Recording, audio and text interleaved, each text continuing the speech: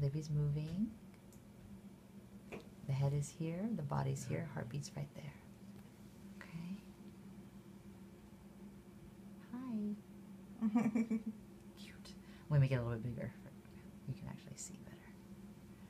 Okay, good. So I'm gonna I'm gonna freeze the frame real quickly.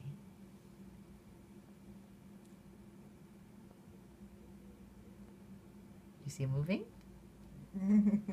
Are you waving? with at the little hands.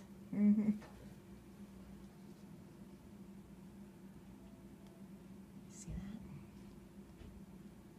Perfect. Good job, baby. Okay, so I'm gonna um, I'm gonna stop it just so.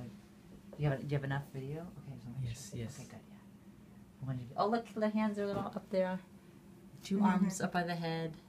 Okay, that's another arm right here. Little legs are crossed right there. Okay. Cute. Mm-hmm. So you cannot tell yet. Yeah, I cannot tell. Too early. Too early. Yeah, too early. But I'm gonna give you a better estimate of the due date here. Great. All right, Is a here. belly button there? No, no, really, like It's a belly.